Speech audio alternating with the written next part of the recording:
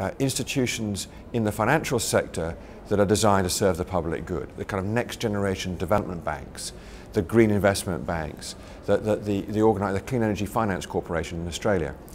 These are, are steps in the right direction. I just like to go further and provide a very direct incentive to, the deliver, to deliver the public good through enterprise.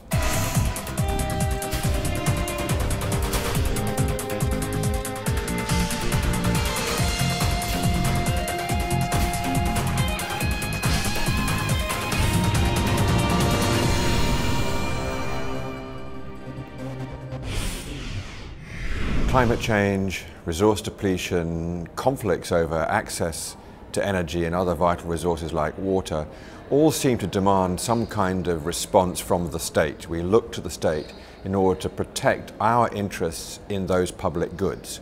That's a legitimate form of, of expression of power in our interests, and yet in some senses we've lost confidence in the state alone to deliver, and much power has been transferred to the private sector and more broadly to civil society to, to provide some sort of guarantee that those public goods will be looked after. Now, we know that we're not succeeding against very demanding challenges in those areas, so we've got to do some rethinking. Now, my sense is that the multilateral process has to be persevered with, but it's insufficient in order to protect those public goods, and we need to be more imaginative about how we organize cooperative action because that is necessary, how we incentivize investment to deliver public goods. So I'm interested in how we might remake the multilateral system to engage more of the private sector, but also to ensure that the public good is protected and that we take advantage of the tremendous advance we've made in communication technologies to better engage, to better facilitate participation in problem solving by those that are not the state, including the individual citizen.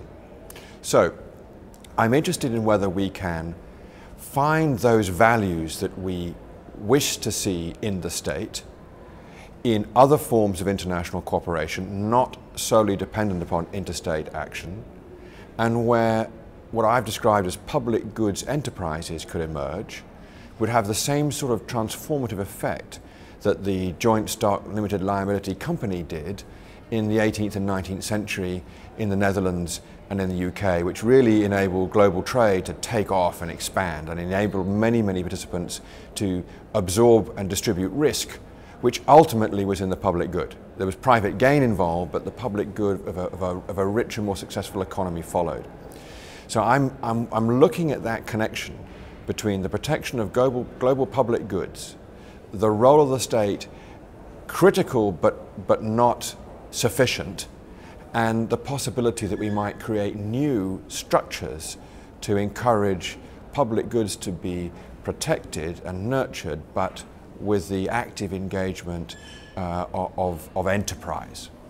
My sense is that all over the world there are experiments happening in this direction already. Now, my suggestions are not so radical as to break with a, with a long-lasting tradition or to be out of sync with the moment.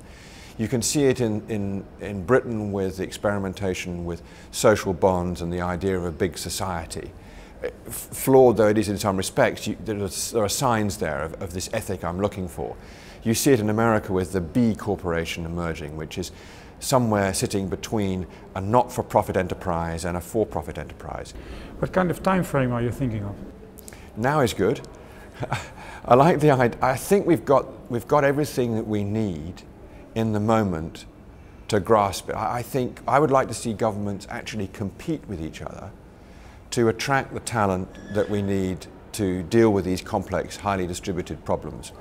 So we, we know governments compete to attract investment. Uh, we know they, they, they, compete to attract uh, tourism, to, to, to, you know, come and visit our country, come and build your business here. We hand out public money to do those things. Why don't we do it to attract really talented problem solvers. Why don't, we, why don't we say, come here, start your enterprise. You may actually perform your enterprise anywhere in the world, but we'd like your talent in our jurisdiction, please.